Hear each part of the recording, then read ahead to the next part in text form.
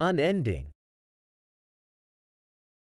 The word unending is an adjective that describes something that does not have an end or that continues indefinitely. It suggests a lack of termination or conclusion.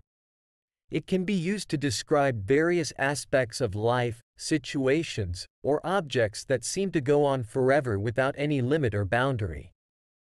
Here are a few examples of how unending can be used in different contexts. 1. Time. Her love for him felt unending. This implies that her love for him is so deep and profound that it seems to have no limits or boundaries. 2. Nature. The unending horizon of the ocean was breathtaking.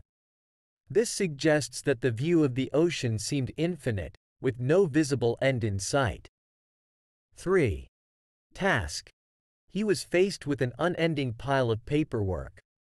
This indicates that there was so much paperwork to complete that it felt like it would never come to an end. 4. Journey. The hiker embarked on an unending trail through the mountains.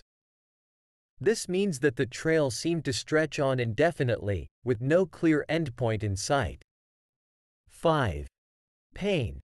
The patient's unending suffering was unbearable. This implies that the patient's pain or agony seemed to have no relief or respite. Overall, unending is a powerful word that emphasizes the idea of something being continuous, infinite, or without an end.